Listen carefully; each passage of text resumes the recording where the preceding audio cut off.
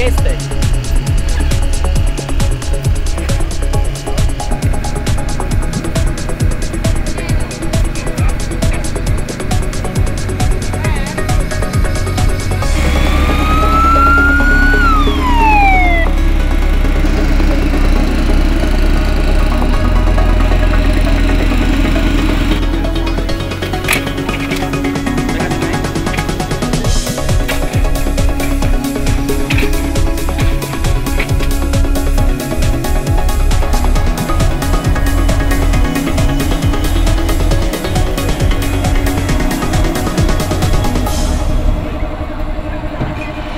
Pokaz zorganizowany dzięki Harcerskiemu Centrum Pierwszej Pomocy i przy współpracy z OSP Stara Słupia yy, rysował się w ten sposób. Dwóch poszkodowanych będących w wraku samochodu.